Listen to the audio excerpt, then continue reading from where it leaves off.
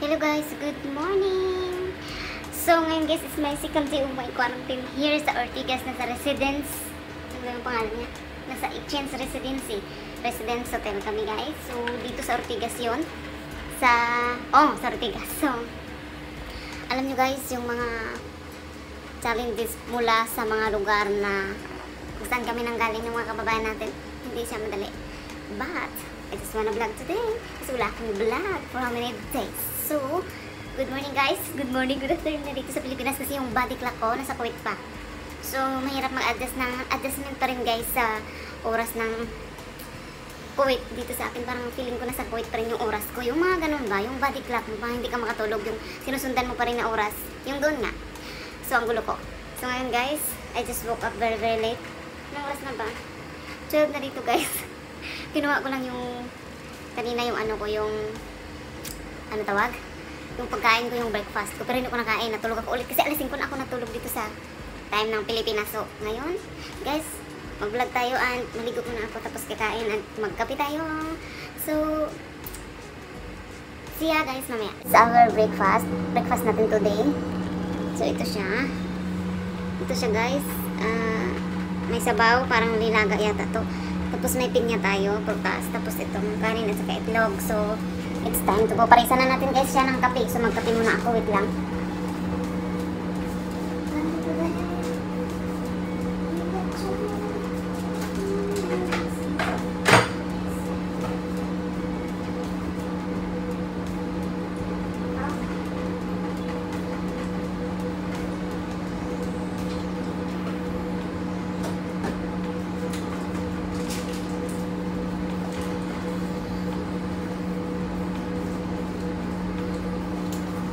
So, okay na ako guys sa pag uh, sa pag ano, sa pag ligo.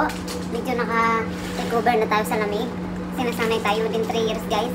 Nasanay tayo sa may heater ba.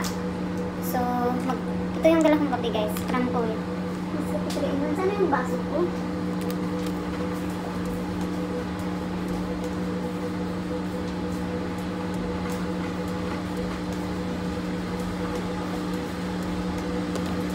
Mabuti na lang may free sila na ano dito, heater. Kasi yun naman ginagamit ko doon sa bahay ng amo ko. For 6 years.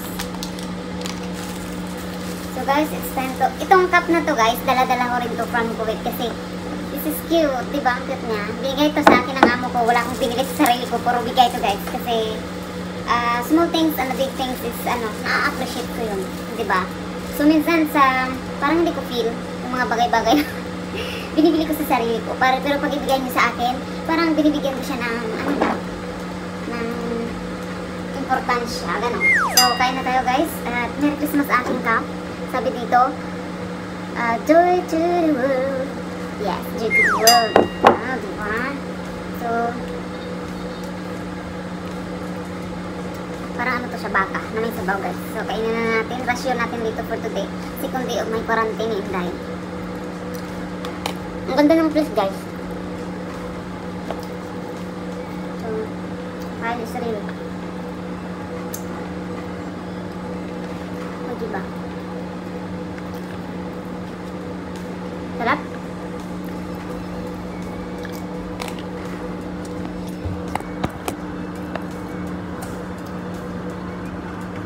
Naka-open pa ang ating ano, ating TV. Yan yung ilaw ko kagabi. Hindi ko pinuksan yung ilaw ko kasi hindi ako matulog. So, kunin na natin guys. Go. Tingnan natin.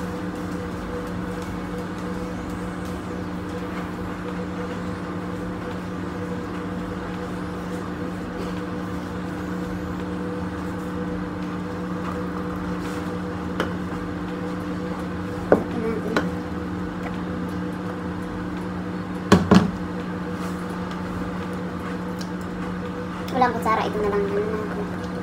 So, kain tayo guys. This is my room. Ang laki ng room na to. Tapos, ang big good for two siya. Buti nga, pag may anak kayo, pwede nyo dalhin dito eh. Malaki siya guys, as in. So, diba? Kahit free man lang, nakapag-hotel tayo. Charot. So, kain tayo guys. Busing gutom-gutom ako.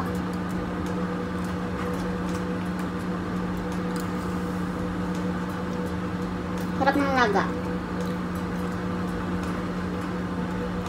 Kasi napaka-stricto nila dito. Hindi pwedeng mag-order ka. Hindi pwedeng may maghatid sila ng food. Hindi pwede dito guys. Tapos sabi niya, "Ba- may free naman dapat kaya pa kayo mapakay. Pero pag personal things nyo guys, pwede kayo tumawag sa kanila. Sila mag-a-assist sa inyo. Sila magbibigay para sa inyo. So maganda na rin. Okay. Maglinis tayo mamaya. Yung, ano ko, yung dala kong pamunas, i paninis ko yun. Kaya gusto ko maglinis. Tingnan nyo ko.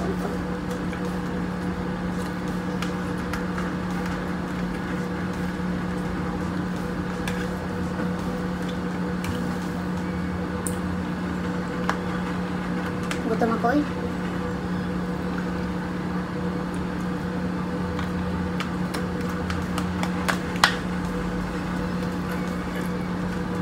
Mag-live guys ako sa YouTube mamaya.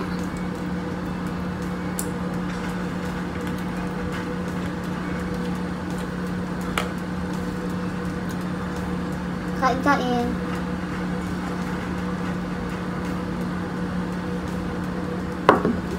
Busog na rin ako guys sa ano. Sa binibigyan nilang food sa atin. Three times a day naman eh. So, salamat sa uwa na Nililibre yung quarantine namin. Pati food namin lahat. Transfer namin from from airport papunta dito. At kung siyempre papuntang probinsya, free yun guys.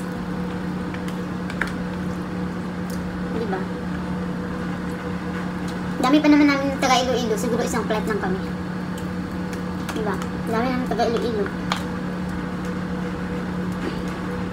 Parang special flight na yun. So, kain. So, kakain muna ako guys. Ubusin ko na itong pagkain ko and see you mamaya. Thank you!